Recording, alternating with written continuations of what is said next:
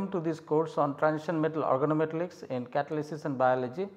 We have been uh, talking about uh, various aspects of olefin metathesis uh, over uh, a series of lecture and in the past lecture we have focused uh, on a new aspect which is uh, the aspect of catalyst development. Now in this what we have observed is that this is a, a, key area which sort of led to the explosion of the field of olefin metathesis. This is uh, an area which showcased the capability of uh, uh, uh olefin metathesis as a reaction in terms of transformations that it can undertake in terms of the amounts uh, uh, the product that it can churn out uh, so basically the depth and the breadth of this olefin metathesis reaction uh, was uh, built uh, on the back of catalyst development aspect. So, in this regard we have Uh, uh, uh, spoken about uh, the various types of metal carbene complexes uh, uh, which were synthesized.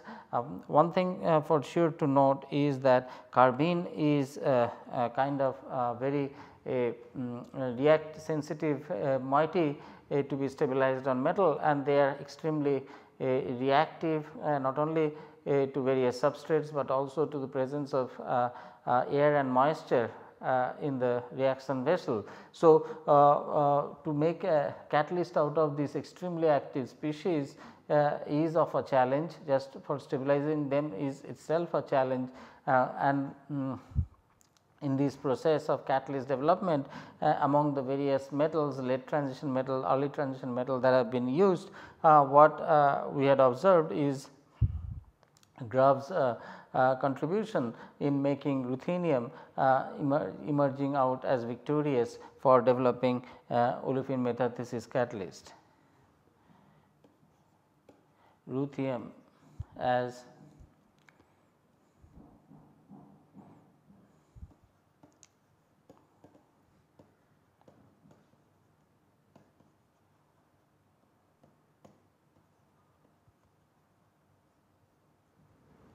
and this is because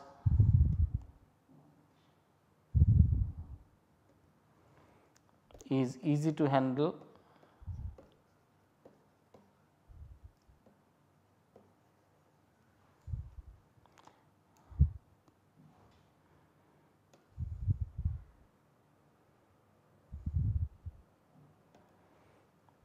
Also easy to prepare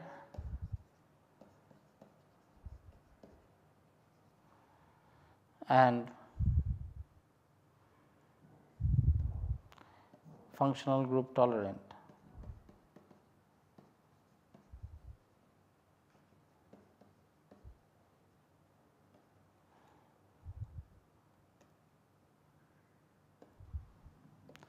So, this is what uh, makes uh, uh, ruthenium carbene complexes as extremely good catalyst uh, for uh, uh, among other metal carbene catalysts for olefin metathesis reaction. Now, in this um, in this race for developing good ruthenium carbene complexes for olefin metathesis several uh, ruthenium carbene complexes uh, were synthesized and in this uh, regard prominent are those which have been which are made by Grubbs and actually several versions of improved versions of Grubb catalyst were uh, subsequently uh, churned out by Grubbs himself. So, these are uh, known as Grubbs catalyst then second generation Grubbs catalyst, third generation Grubbs catalyst so on and so forth. so, mm, we are going to take a look at some of the uh, uh, uh existing uh, uh, catalysts which have been developed for olefin metathesis centered around ruthenium.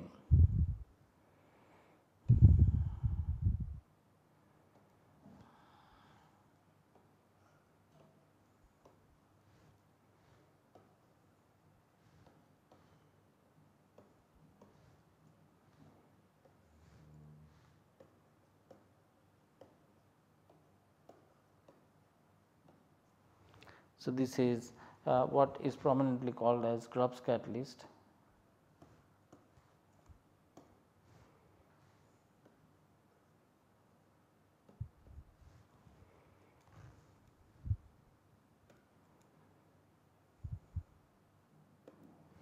The next comes Grubbs second generation catalyst which is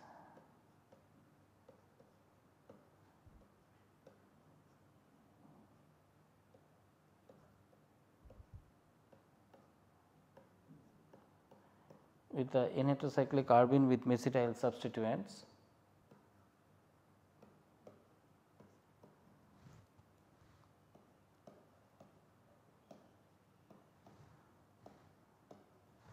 So, this is uh, second generation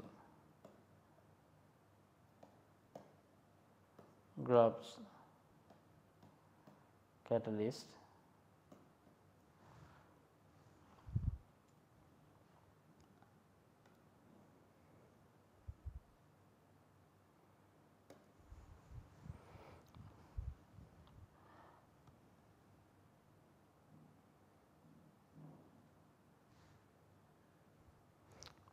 Actually, there are two versions. Uh, so, this one is a saturated version and also there is a unsaturated version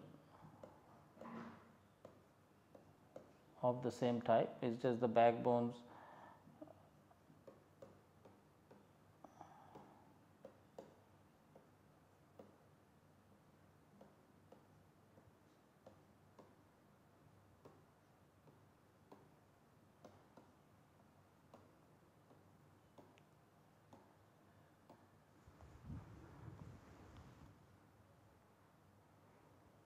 unsaturated version and then uh, there are several other.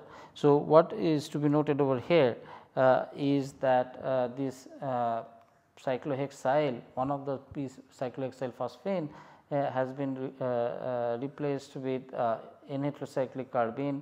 This is a imidazole based where it is there is a unsaturation unsaturated backbone and then this is 5 membered where this is a completely saturated background of CH2 CH2.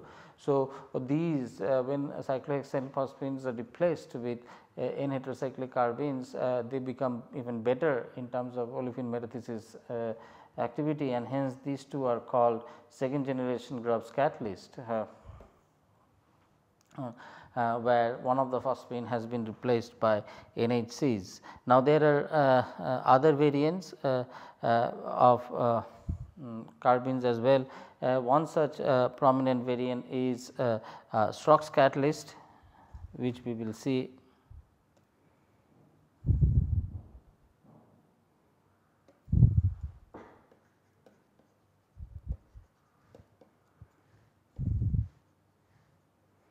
and this is a molybdenum based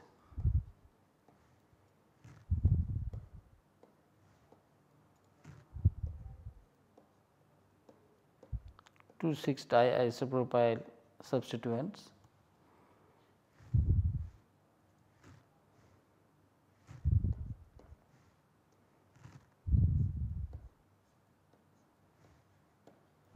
phenyl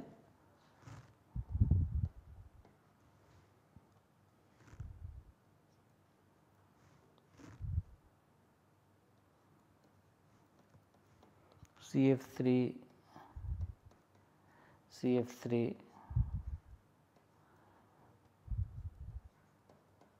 CF3 CF3 CH3. So, this is uh, the Schrock's molybdenum catalyst.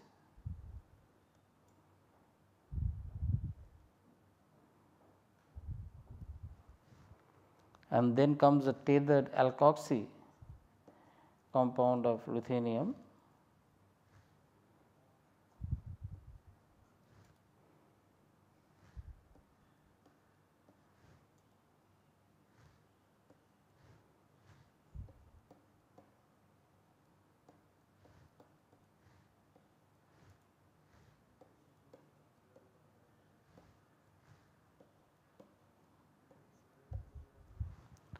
Which is uh, this Another uh, variant of this tethered alkoxy complex with carbene is also reported.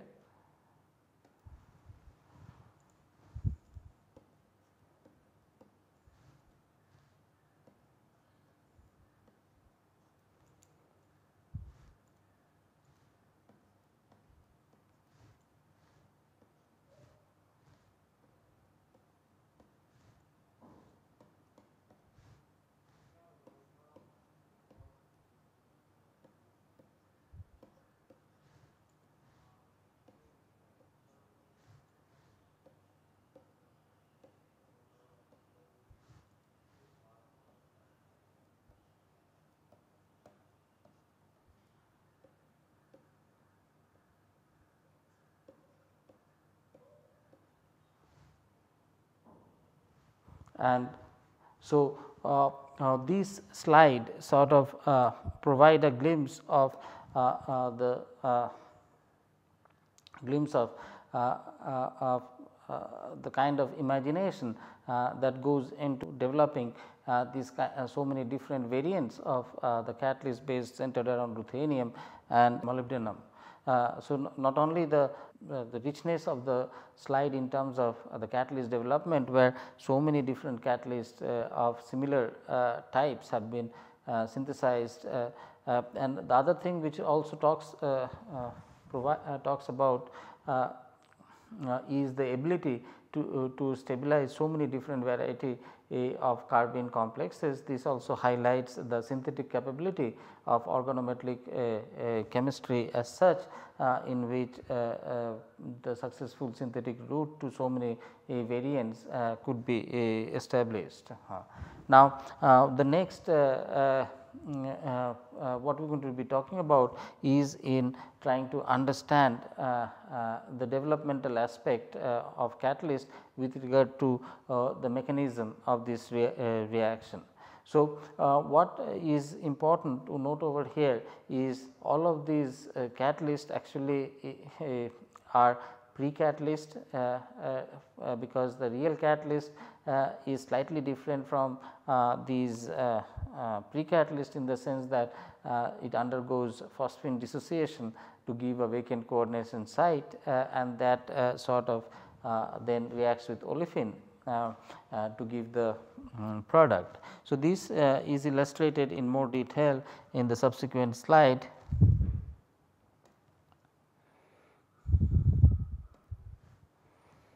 For example,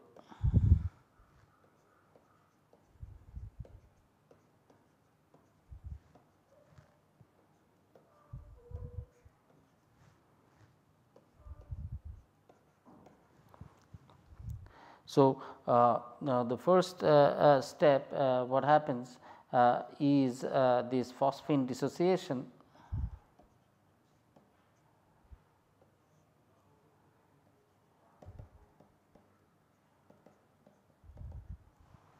Uh, resulting in this active species of ruthenium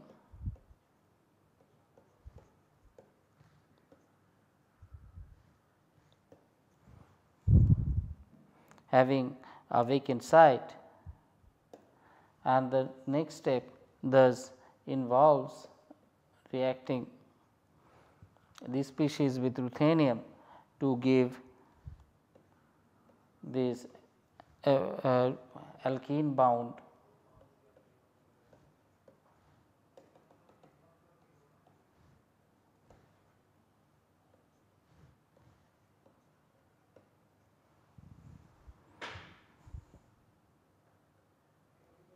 ruthenium uh, species as is shown over here.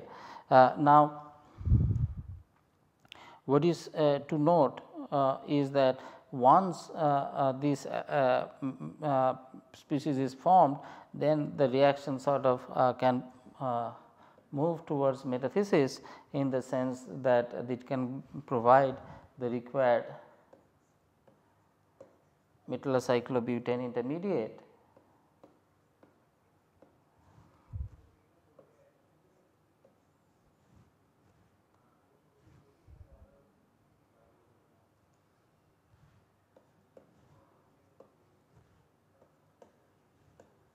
and that uh, can then finally uh, give the corresponding product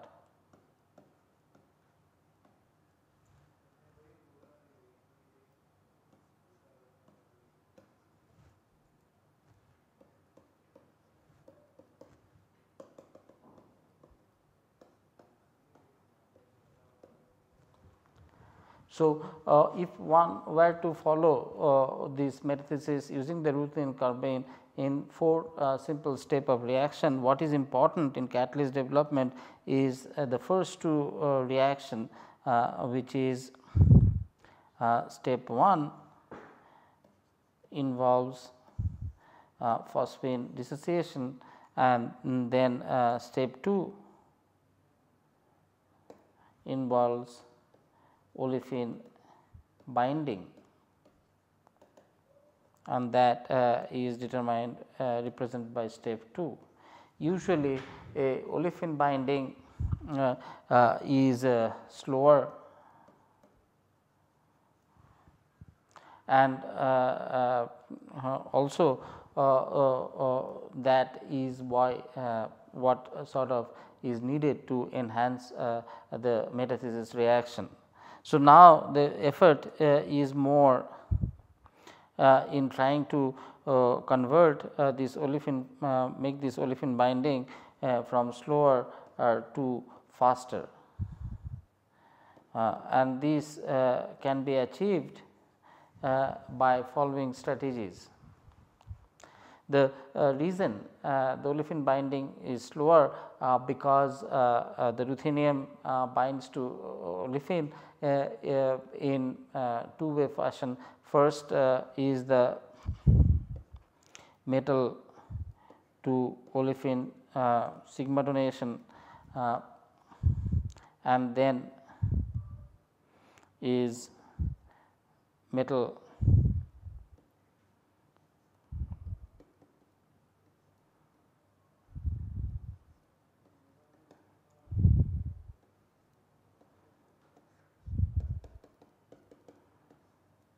pi back donation. So, uh, this is important uh, in understanding this metal olefin binding this forward sigma donation as well as pi back donation and this is dependent on electron richness of the metal.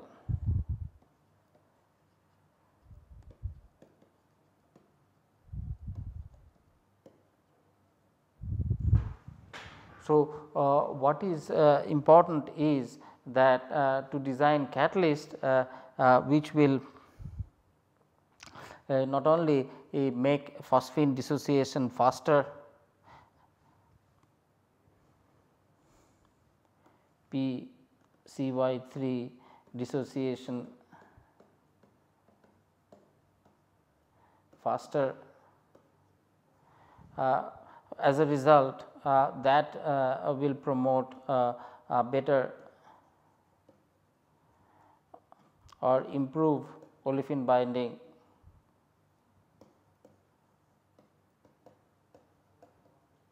Which is so this is step 1 if step 1 becomes faster then step 2 improves. Uh, now if the step 2 uh, improves then subsequently the metathesis also uh, would improve.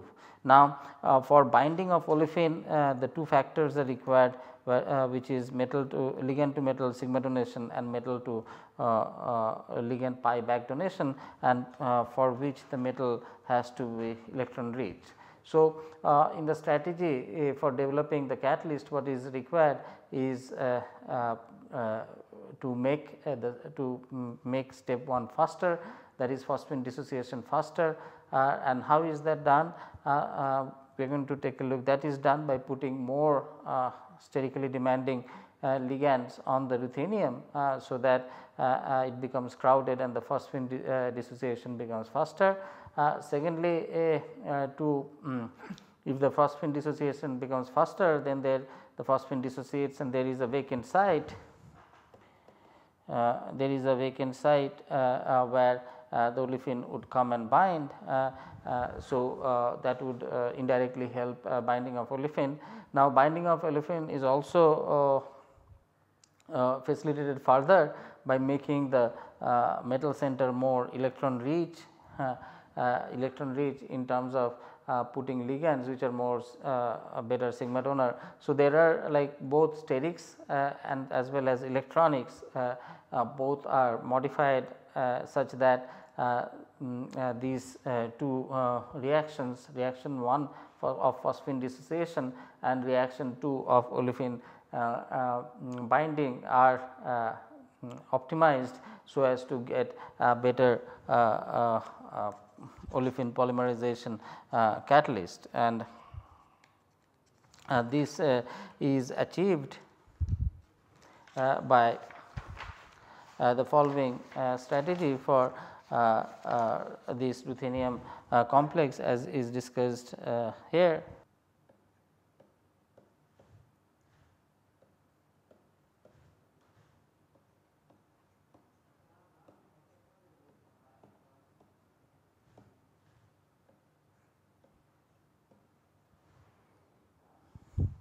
and uh, we are going to now talk about how to improve uh, these uh, increase the catalyst activity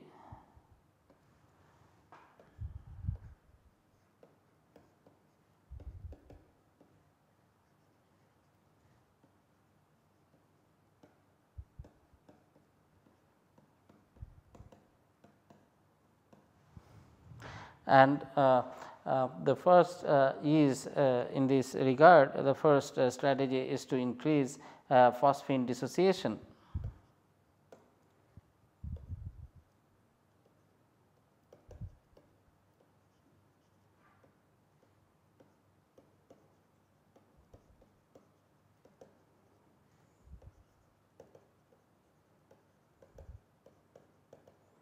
And this can be brought about uh, by replacement of of PPH 3 by PCY 3 more bulky ligand. So, uh, by putting more bulky ligand uh, it facilitates uh, phosphine dissociation as well as by replacement of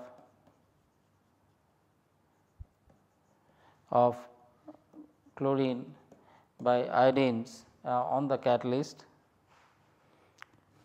So, the idea is more bulky phosphine ligands uh, with larger cone angles uh, will more bulky phosphine ligands with larger cone angle uh, would be a, a, a better uh, for uh, the dissociation of the uh, phosphines. Similarly, what what uh, what is to be noted over here is the fact that that only one of the phosphine uh, gets dissociated uh, and the other uh, gets dissociated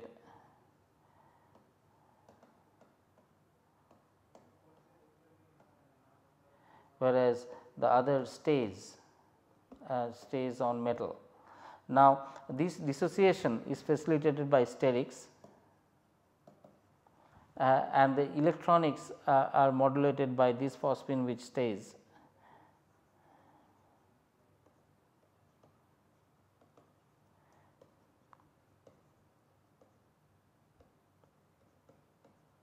by uh, this uh, second phosphine that stays onto the uh, metal and for these uh, what is required is more electron rich phosphines.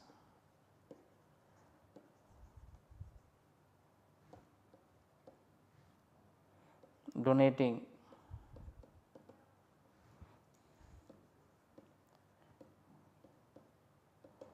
phosphines. Uh, uh, this is uh, actually applicable for the phosphine one that particular one which stays on the metal for uh, better binding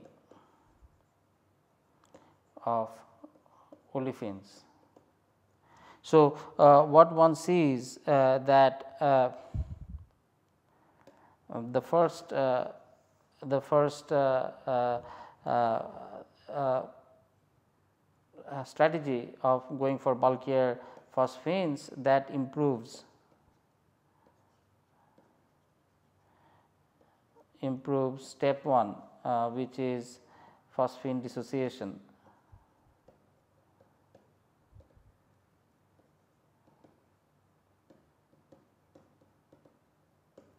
And the second strategy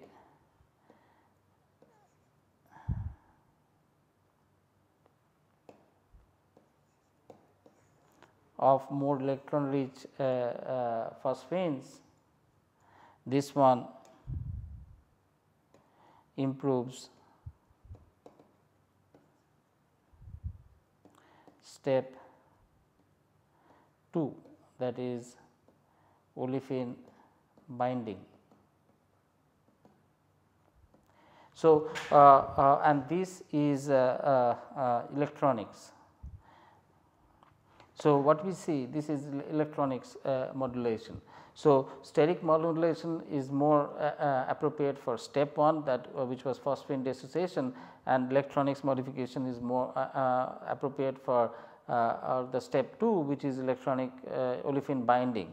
So, uh, in this class what we had done is we have looked into the various kinds of phosphine ruthenium catalyst which have been uh, uh, synthesized for olefin metathesis. Uh, we have looked at how various improvements have been done in terms of replacing one of the phosphines with more electron donating and bulkier n heterocyclic carbene uh, uh, variants uh, ligands. We have also seen how tethering of an alkoxy group in the ruthenium carbene mm, carbene complexes have been uh, undertaken. We have also seen molybdenum catalyst as developed by Schrock. Uh, uh, then uh, in the course of uh, further discussion in this lecture what we have also done is we have looked at uh, the this elementary steps in which the catalyst ruthenium carbene complexes undertake olefin metathesis and then looked upon the strategies which are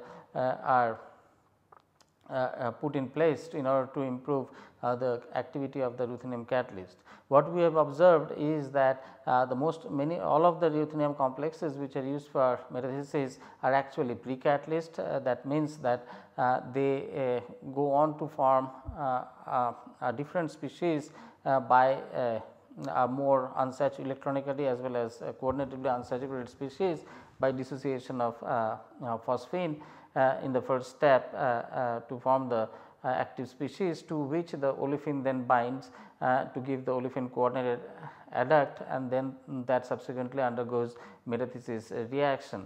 So, what the general affinity shows that uh, olefin binding is very slow uh, which uh, happens in the step 2. So, what we had seen that proper modulation of the interplay of the sterics as well as electronics can help uh, facilitate uh, uh, the, the metathesis reaction by improving or increasing phosphine dissociation. This has been achieved by putting more bulkier uh, ligands uh, around the metal center for example, on moving from triphenyl phosphine to tricyclohexyl phosphine or on going from chlorine to iodine, uh, the more bulkier the ligands around ruthenium is the first step is facilitated in terms of phosphine dissociation is affected and second thing is uh, Uh, about increasing uh, uh, the binding of the olefin which uh, by inherent nature is a slow uh, binder to the ruthenium.